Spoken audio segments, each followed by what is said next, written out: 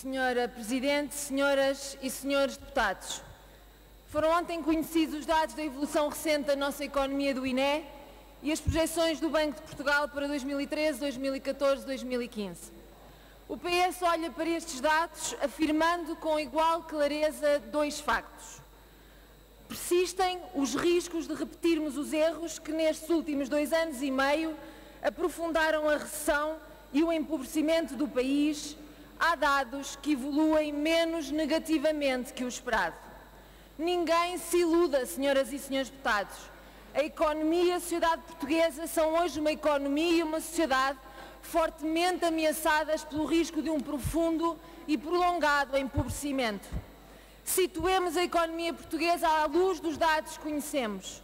De facto, assumindo as ligeiras melhorias do último trimestre, é fundamental reconhecermos que para encontrarmos um nível de criação de riqueza idêntico ao de hoje, temos que recuar ao ano de 2001, temos que recuar 12 anos atrás. Do mesmo modo, para encontrarmos um nível de investimento idêntico ao de hoje, temos de recuar, imaginem, para lá de 1995. Temos que recuar mais de 18 anos atrás. E se olharmos para os números do emprego, estamos 587.600 empregos abaixo da situação que tínhamos em 2007, antes da crise. E só encontramos valores idênticos em 1995. E temos que recuar de novo 18 anos atrás. Senhoras e senhores deputados, é neste quadro que proponho que olhemos ainda melhor para os dados do emprego e cruzemos estes dados com os dados da imigração da evolução dos salários e das desigualdades e da pobreza.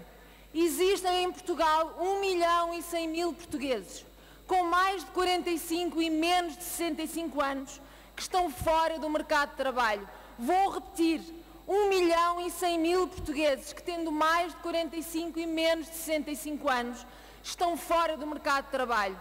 O que tem o Parlamento a dizer a estes portugueses e a estas portuguesas? Como interpretamos este facto na evolução da nossa economia e da nossa sociedade. Nos últimos dois anos emigraram mais de 220 mil pessoas, 95 mil jovens entre os 20 e os 34 anos, 63 mil adultos entre os 35 e os 49 anos. Portugal regressou nestes dois anos aos saldos migratórios negativos da década de 60. O que tem o Parlamento a dizer a estas pessoas? Como interpretamos este facto na evolução da nossa economia e sociedade.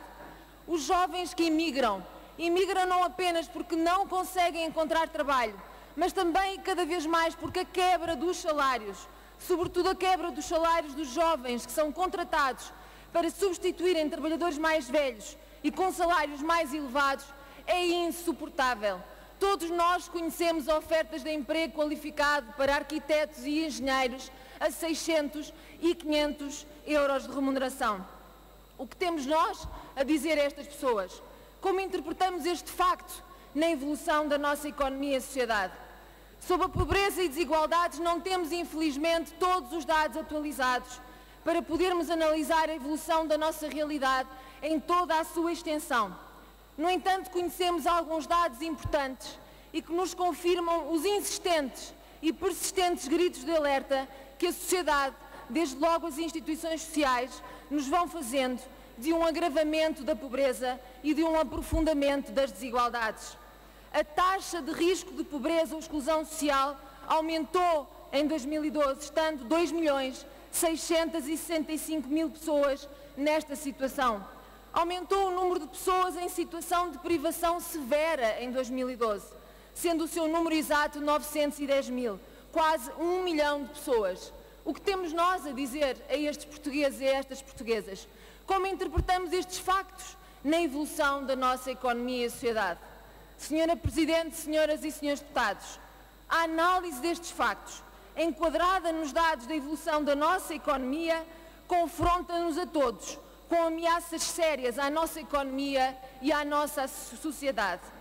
A ameaça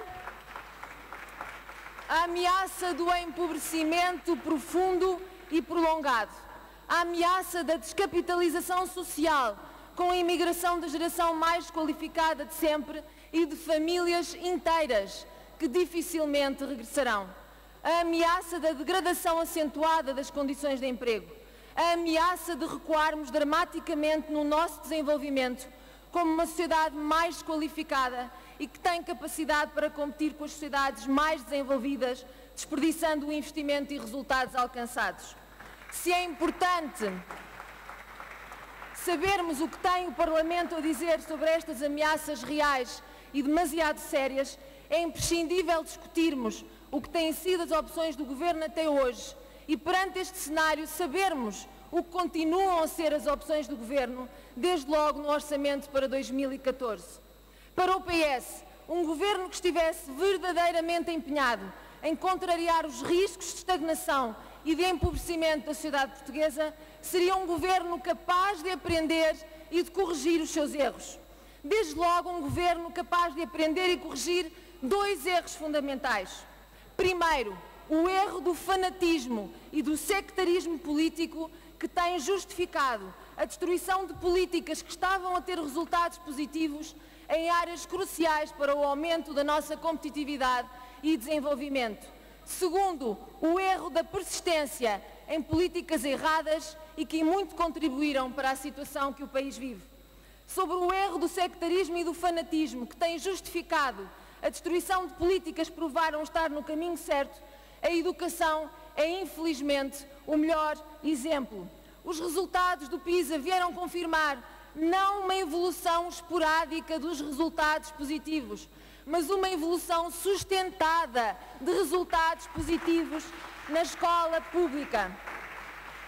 E o silêncio, o silêncio do Sr. Ministro sobre estes dados é o exemplo mais acabado do sectarismo e do fanatismo deste governo contra políticas que estão de facto, que estavam de facto a dar resultados. E sobre o erro da persistência em políticas erradas, a opção exclusiva e na base da profissão do, de fé do Governo na austeridade reforçada, duplicada, é o exemplo acabado.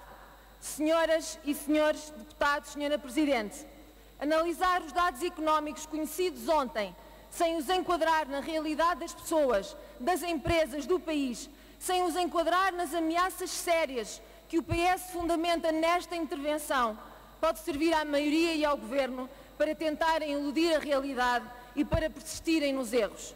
Não servirá ao país, não servirá aos portugueses e às portuguesas para garantirem que os esforços e sacrifícios feitos nos afastam do empobrecimento profundo e prolongado no tempo, a ameaça mais séria que todos temos o dever de combater. Muito obrigada.